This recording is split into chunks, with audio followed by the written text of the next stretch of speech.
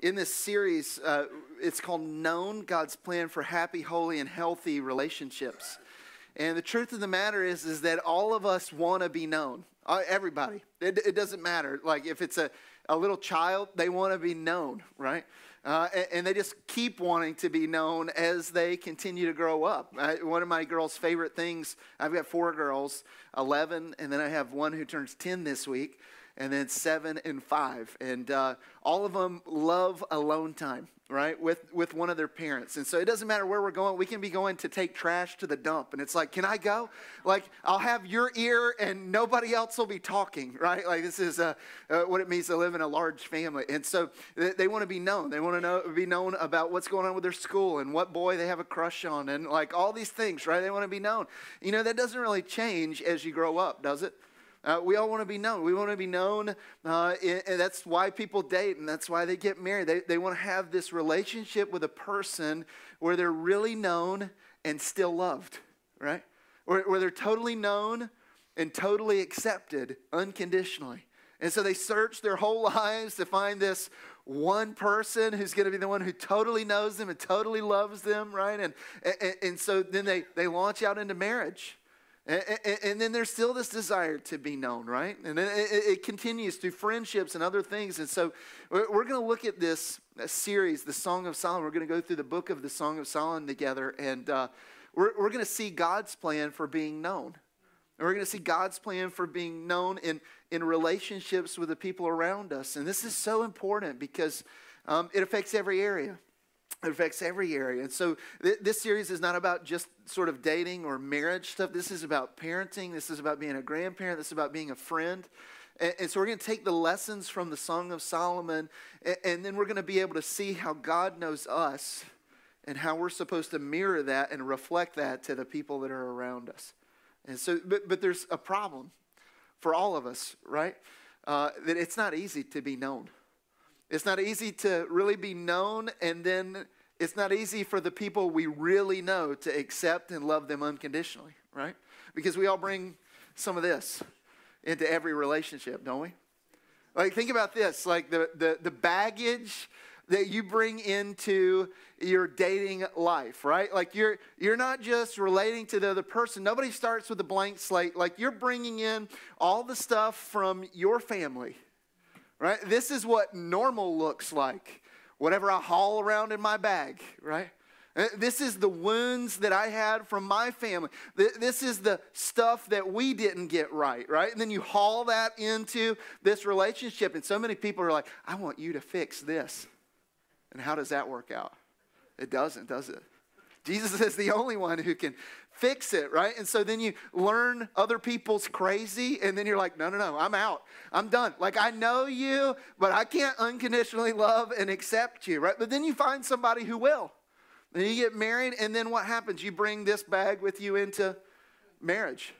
And then everything that was normal for you and everything that was part of your childhood fits into this bag. And you drag it in, and they drag theirs in because everybody's got baggage right? You might think you got a carry on, but you got a steamer trunk, people. I'm just telling you, we've all got it. And so we bring that in. And then, like, you start to know one another and you go through this stuff. And it, this happens in friendships. You bring this into the friendships too, and you bring it in. And it's like, you know what? I, I'm just going to let you know me this much because the last person I really let in totally wounded me. And it affects your next friendship, right? And then, and then what happens when you have kids? Oh, heaven help us, right? Like you bring that baggage into your kids' lives and you throw that on their back and you're like, hey, there you go. Welcome. Here's the gift. And, and we bring our baggage into their lives, right? And, and so, what I want us to see in this first lesson, this first lesson from the Lord in the Song of Solomon, chapter one, is this. You can write this down and then I'm just going to reference it through the scriptures today. But, but here's sort of the main theme that I feel like the Lord wants to give us for this first lesson in His plan to have happy and holy and healthy relationships. And, and it's this you can put it up on the screen. It, it's to let the baggage of your past inform your present without determining your future. So you let the baggage that you've brought in with you, you let it inform what's going on presently in your life, but it doesn't have to determine the future that you have. And so let's look at God's word because I think it's a perfect illustration in the Song of Solomon. chapter 1. And Song of Solomon is uh, one of the most interesting books in the entire Bible, right?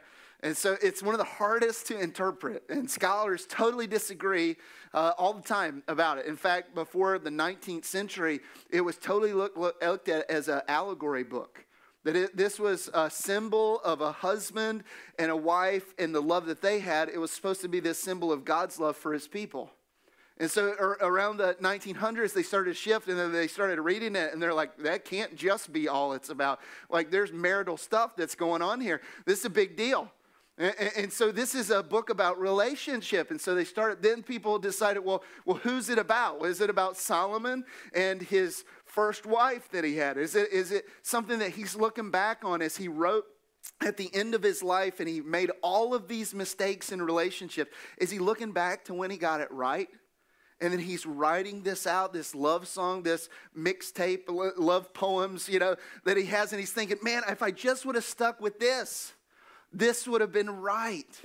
Uh, and so today we're, we're going to look at this book together uh, over the next seven weeks, and we're going to uh, see the lessons that he has to say. We're going to see the lessons of how God knows us and wants us to reflect that to others. We're also going to see what it really means to be known in relationships of dating or friendships or parenting or in a marital relationship. And so this is for everybody. This is for everybody over the course of this next series. And so today we're going to look at what it really looks like to bring this baggage in with you into whatever relationships that you have. And so let's look at what he says. Song of Solomon, chapter 1, verse 1. And so here's what it says The Song of Songs, which is Solomon, the bride confesses her love. Look at what it says, verse 2. Let him kiss me with the kisses of his mouth, for your love is better than what? Better than wine. I, I love this. Like, this is new love, right?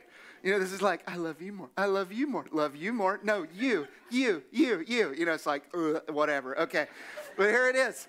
Here's what she says. She says, uh, uh, Your love is like intoxicating. This brand new love, it makes me giddy with excitement. I feel lightheaded, y'all. It's like I'm buzzing more than the glass of wine would make me buzz. Like, you are incredible, right? This is what she's saying about this new guy. Isn't that so true when you start out something new? Like when you start something new, there's all this hope, all this possibility, right? And you don't see any of the roadblocks, you know, that happens in a friendship, that happens when you hold that baby for the first time. You're like, oh, we got this. We've read every book there is. We're going to be dynamite parents. And then you take the kid home and you're like, they actually let me take that kid home? I don't have a clue what I'm doing, right? it's all brand new. And there's this joy that's welling up inside of her as she meets Solomon for the first time, her betrothed. Now, look what it says, verse 3 Your anointing oils are fragrant. Your name is like oil poured out. Therefore, virgins love you. She, she's talking about his name, his reputation. She's like, everywhere you go, guys want to be you and the girls want to get with you. Like, you're incredible. Your reputation precedes you. Like everybody knows what a great guy you are. Uh, did you feel like that when you first started in friendship? Like you, your, your reputation you. It's like, oh, you know, you're just, you're such a hard worker. Oh, you're so dedicated. Oh, you're such a servant. Or, oh, you're so funny, you know, or whatever it is. Like you wear that reputation. And she says, everywhere I go, when I hear people call out your name, it just brings a smile to my heart because you're so amazing, right? Now, let me ask you this. Once you've been a friend for five years, 10 years, 15 years, once you've been married for 5, 10, 15, 50 years, once you've had that kid for in their teenage years, right? Like, does the sound of their name still bring that to your, to your heart, right? And she's in the middle of this place. She's, oh, your reputation. Like, every time I hear your name and they talk about, you're such an amazing guy, right? Now, look at what it says, verse 4. Draw me after you. Let's run. The king has brought me into his chamber. She, she gets to meet face to face with him for the first time. She's like, I, I really want to get to know you better. Like, I see all these things, but I want to know you more. And now you have this chorus. This is the daughters of Jerusalem. She Snapchatted it out about, you know, this brand new guy that she's with. She's like, oh, he is so good, girl. Like, and then look at what they say back. He said, we will exult and rejoice in you. We'll extol your love more than wine. Rightly do they love you. They're like, yeah, he is a catch right?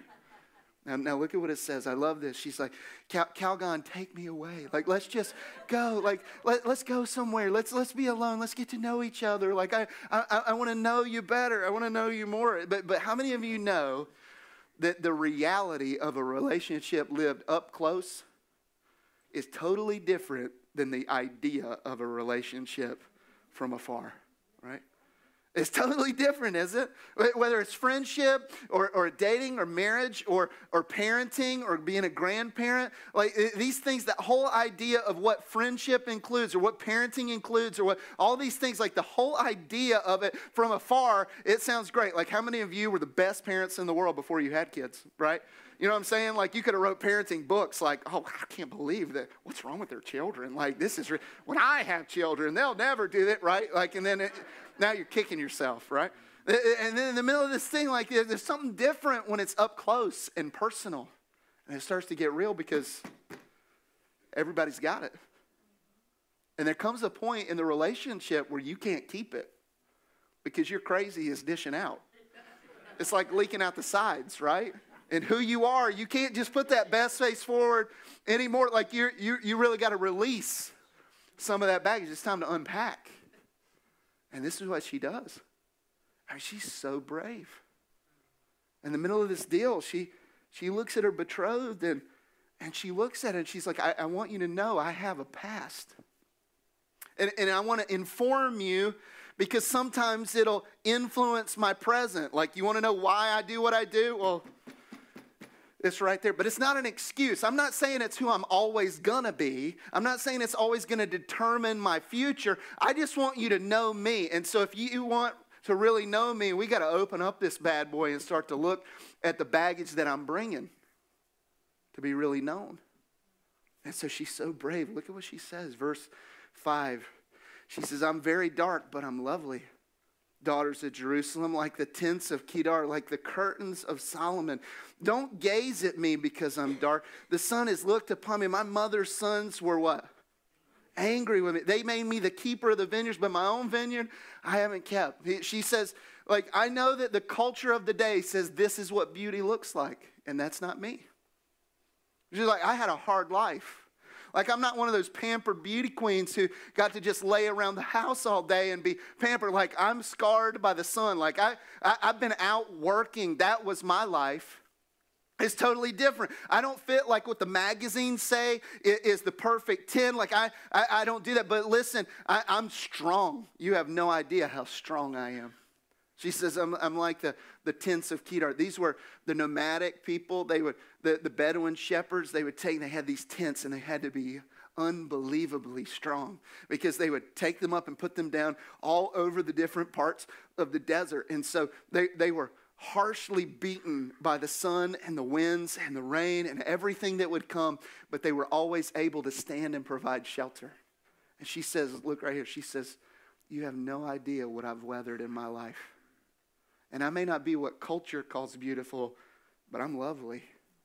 And you have no idea how strong I am. But I got this baggage. The stuff that happened in my family, it wasn't good. I, I, I was totally abused. Like they looked at me and, and they were the pampered ones, and I was the servant. Like my mom didn't show me the love that I should have received. My brothers, they took advantage of me. And she starts to unpack this baggage. You know, that happens for all of us too, right? Like when you're in a relationship, whether it's a friendship or a dating relationship, for, for some of us, we, we need to do a little unpacking today, right? And so I, I brought along a few things, and this is either going to be like the worst thing ever or really amazing. So you decide later. but, you know, we all have stuff in our bag, right? And for some of us, we, we unpack things when we start to get to know people and things like conflict, how conflict was dealt with in your family, you know what I mean? Like, and for some of y'all, you know, your conflict in your family when you grew up, you're like, bring it on, baby. I can't wait. Let's get this going. Yeah. Let's do it. Come on, bring it. Bring your best argument. I will fillet you. Like, I, I, I will knock you down. Like, stay down. Don't get up. Stay down. No, no, no. You're out. KO. Like, it's done. I'm ready to fight you. Like, this is good. And so you have this conflict where it's like, I love conflict because I'm going to win, right? And so you bring it into your relationship, and this is your baggage. So every time conflict pops up, you're like, this is a fight to be won, baby, right? You know, and you're ready to go. You're ready to duke it out because it's part of your baggage. Others of you, you grew up in a family more like mine that I grew up in, and it, it wasn't like the crazy, you know, let's fight. It was like whenever conflict came, here's what they did. There's conflict. what are we going to do? We, we better get that away. Sweep that under the rug. Pretend like everything's good, all right, until it blows over. And for some of you, that's your baggage. Like, you don't even know how to have a good fight. And, and so, like, you, as soon as conflict comes, oh my gosh, he's mad at me, right? In the middle of this deal, and it's like, well, I don't know what to do. How do I fight? Well, I don't know. Is this okay? Is this normal? Like, is, we disagree, right? And you bring your baggage into the relationship. Maybe it was something about apology, right? And uh, in my family, here's how we do it, right? You know, in your family, maybe it was like you had this blow up, but as soon as you were done, one person says, sorry, right? That, and, and they're like, oh, get over here. I forgive you. It's all good. And then you move on, right? Then for others of you, like this baggage that you carry around, it's something like this. We don't ever say we're sorry. I never got an apology. People just get over it right? Like, I'm sure they had a part in it too, so whatever, it's done. Or, or, maybe it was like in your house, the apology was something like this like, oh, you know, um, how, what can I do to make it up to you? I feel so terrible. And so even though they said, sorry, like it doesn't mean sorry. Because you're like, well, you said sorry, but you didn't offer to rub my back or bring me flowers or nothing. Like, uh, what's wrong with you? Right? Because that's not sorry. How we say sorry is we show this, right? And then it's, so you bring that in, and you can imagine what happens for two people in a friendship or two people in a marriage or dating relationship. Maybe, maybe it's not that at all. Maybe it's like this. Maybe this is what you bring into your relationships. It's like everything that you grew up with, you're just like, well, I know there's probably a dark cloud around the corner somewhere. Right? You got this sadness that accompanies you wherever you go, and it's like, well, times are good now, but I got this ready because I know something bad's getting ready to happen right? And you just bring this sadness with you. Or maybe, maybe for you it wasn't that. Maybe it was something like this, and you're like, I am so scared, right? it's like, I am not jumping in the deep end unless I have my floaties. Like, there's no way. I'm so scared. I'm so scared. I'm so scared. Right? And like fear dominates your life because it was a part of you. And so you bring that in, and it's like, well, is it safe? Well, where are the children? It's been 30 seconds since I heard where they were. Where are they? Are they okay? Right? You know, and it's like you got this fear thing going on. You never want to take any risks because it's like, unless it's safe, it's not appropriate. And so you bring your fear into the relationship. Maybe bring, you know, some addiction or something like that. You got a little, anybody like cigars? Well, I'll give it to you after. But anyway, maybe you just bring your addiction in. Maybe it's like the pain of that. Maybe, maybe for you it was something like this. In your family, it was, you know, like you had this critical spirit. And everywhere you went, boy, you ready to cut somebody down, you know? It's like you look at them and you're just ready to like, all right, let's make fun of people right now. You ready? Like, let's criticize. And so everywhere you go, you're like chopping them down and you're just whittling away at people. And it's like, that's what you do, right? Like, that's how you show love. Eh, you know, you never say like, great job, because you're supposed to get an A. You're smart. Like, would I expect something less from you? Like, I'm not one of these people that's going to expect something less. Or, you know what? Hey, I'm not going to tell you how good you did. I'm just always going to poke holes in it and tell you where you didn't do good, right? Well, you know, you could do this better. Well, this is a re- and so you just cut people down and you walk around with this critical spirit and you're like, this is part of it, right? And, and see, here's the thing. Some of us, like, here's what's more sad than anything. Some of us don't even know what's in here. Like you don't even know. Like you just walk from relationship to relationship to relationship and you just blow up everyone. And you're like, do you know what's wrong? These people.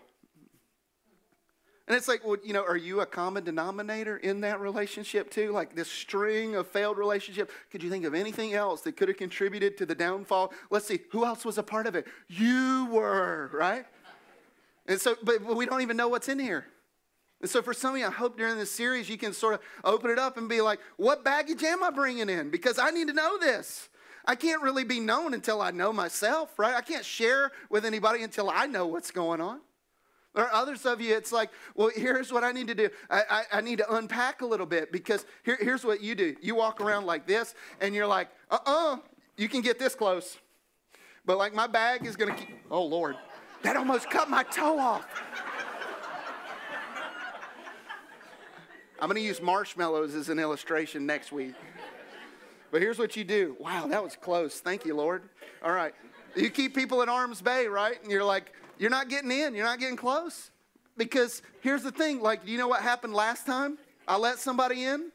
Last time I let somebody in, do you know how much they burned me? Do, do you know what that affair did to my family? Do you, do you know what that lie did? Do, do you know how I entrusted? Like, I unpacked my most secretive of baggage. And I trusted you with that stuff. And what did you do? You went and you told somebody else. You destroyed me. And so now you walk around saying, Well, I don't, I don't want to be known. It's better just for me to keep this to myself. And for some of you during this relationship series, you need to you need to open up, even if you know there's danger there. Like, you know, but, but there's danger in holding the shield too.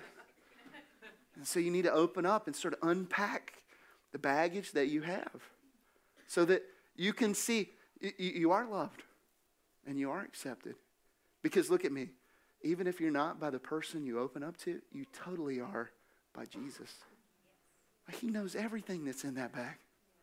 Do you know what he did? Like when he was on the cross, he took all of this criticalness and he took all of the different things, you know, and he strapped them on himself. Like he took your whole suitcase and he was like, I got it. And he put all the baggage on himself. And he said, Okay, Father, you pour out on me the punishment that they deserve. I'll experience all their wounds. I'll experience all their shame. I'll experience all their guilt from all of their baggage. And he paid for it in full because he loved you and he accepted you. And he said, My love is unconditional. And so for some of us, we need to open up. That's what this woman did. Like she totally opens up. She lays all of her crazy out there. You have no clue about my family. This is what happened. I'm not what you would call beautiful. And she opens up about her insecurities and she tells her baggage and then she just waits for a response. And look at what he says to her. I love this. The next verse, here's what he says. She tells him, So tell me you whom my soul loves, where you pasture your flock, where you make it lie down at noon. For why should I be like one who veils herself beside the flocks of her, your companions? She says, All right, so now you know me. Do you, are you still in or out?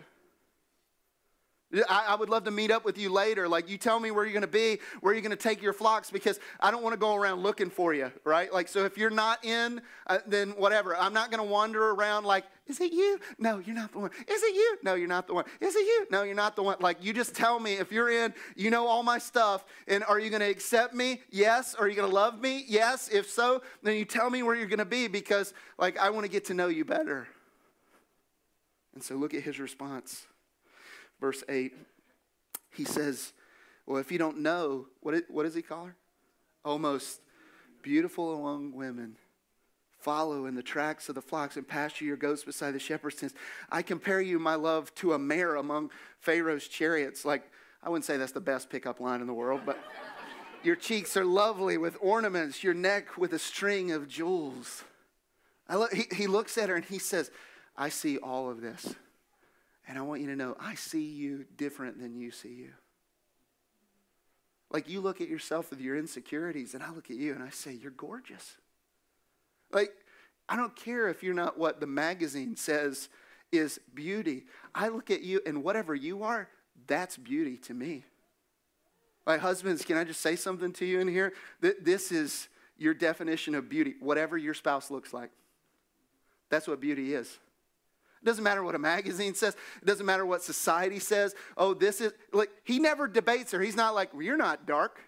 No. Like he doesn't debate her about her own insecurities about herself. You'd had a great life. What are you talking about? I mean, hard work builds character. Like, he doesn't debate her about that. Like, he just says, okay, you think this about you, but I want you to know this is how I see you. I totally see all of this, and I say you're accepted and loved.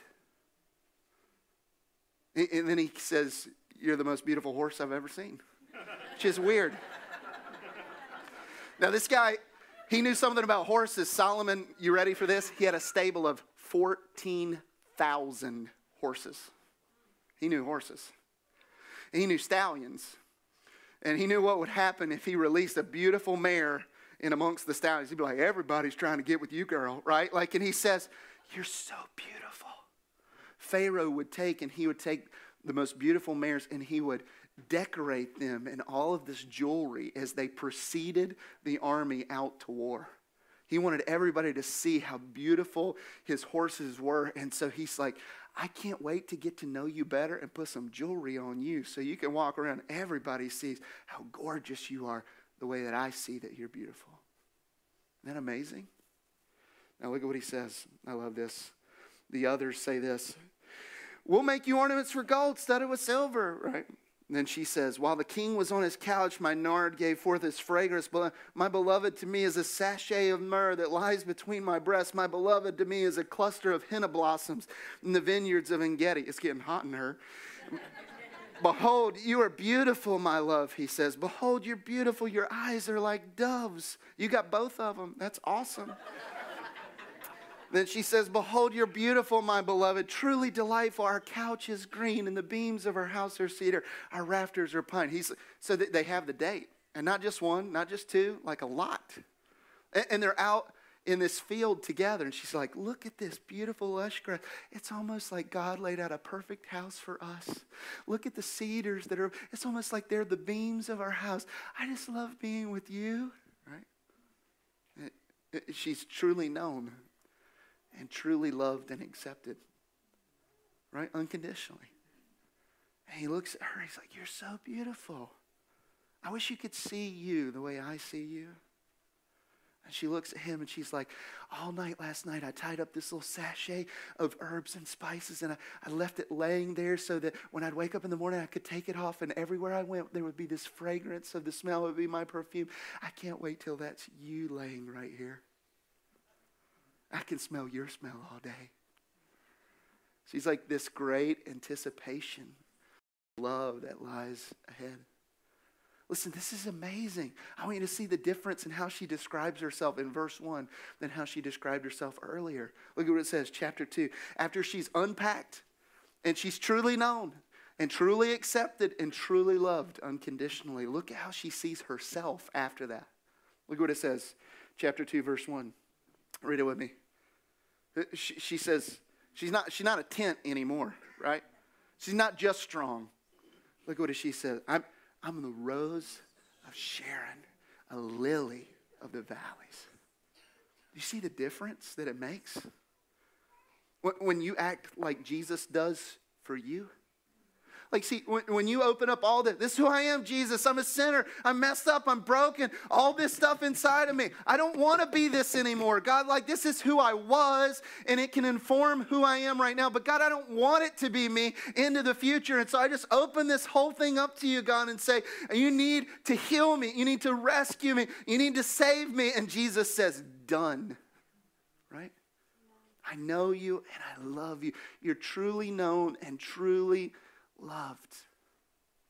And then when we act like Jesus, and we go into a relationship and we start to pull out little doses of crazy, right? Because we don't want to unpack everything all at once. But like when we start to dish out little pieces of it, and it's like, this is me. Uh, listen, uh, it, it, I want you to know I'm a little insecure. So if I act insecure and get upset about something, it should inform you this is what I grew up with. And so maybe you'll understand better and not like get so upset with me, but it's not who I want to be. So maybe you can help me with that. Uh, this is what I grew up with. You want to know why I get so upset so quickly? That was normal in my family. Like people just put on the gloves and they just launched out. This was normal.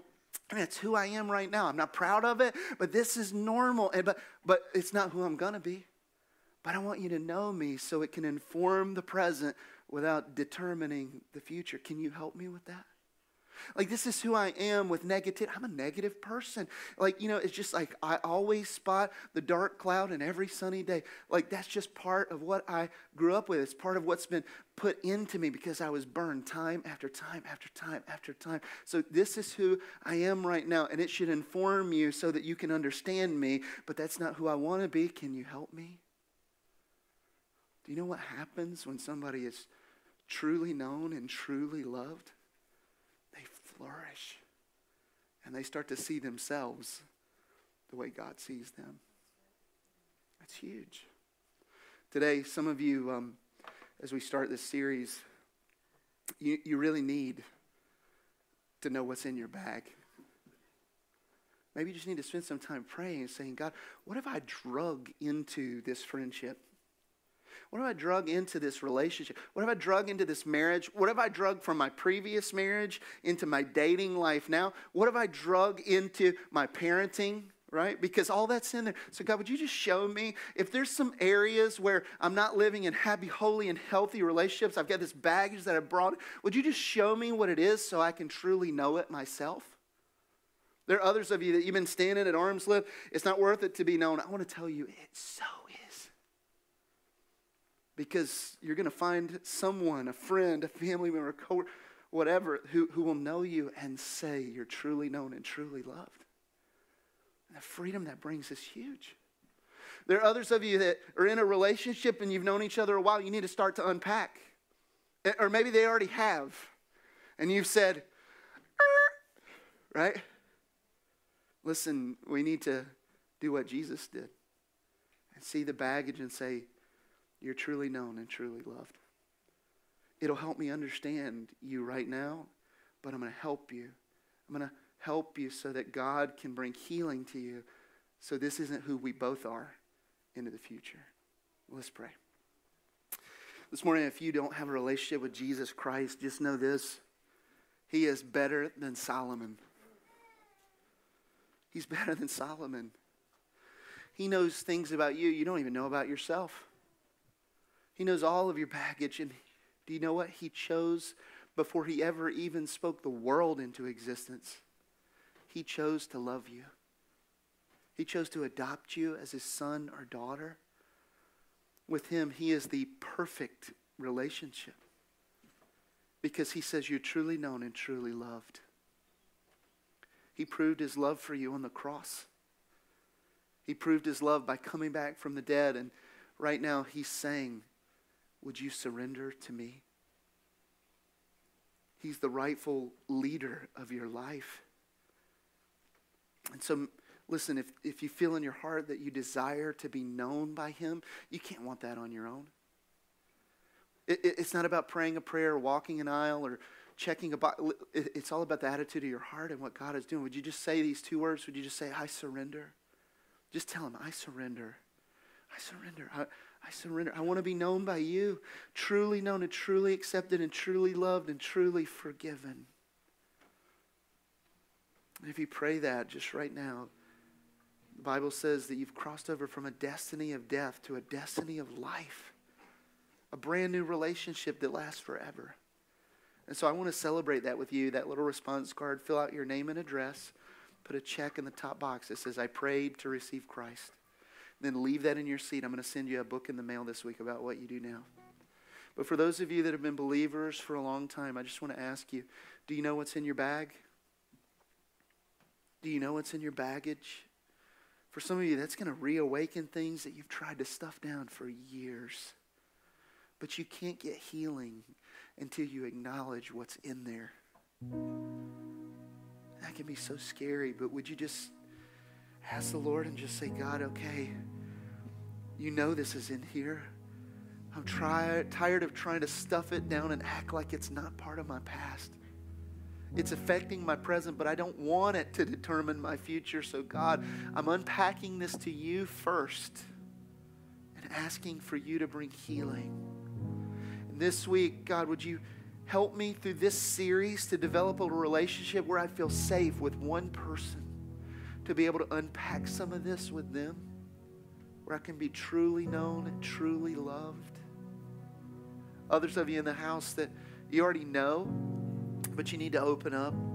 Maybe some of the issues you're having in your dating or with parenting or or maybe it's in friendship or in your marriage, is because you know what's in your bag, but you're not expressing that to the people around you. You're not going back and apologizing to your kids and saying, you know what, like that was totally wrong. I, I don't want that to be how I act in the future. Uh, you know, this is a reason why, and it's not an excuse, but this was part of what I saw, and it's normal for me now, but I don't want it to be normal forever. So please forgive me, and would you pray for mom or dad? Like you will show them the baggage that's there Maybe for you, it's in your marriage, whatever it is. You need to unpack it so that you have this chance for healing. Others of you, you need to stop holding it as a shield and letting the wounds of the past dictate the relationships of the present. It's time to be known again. So, Lord, would you just do that? Would you help us? We thank you that you are the better Solomon who knows us completely and we're completely loved. Make our relationships happy and holy and healthy as we follow your plan this week. In Jesus' name. And all God's people said,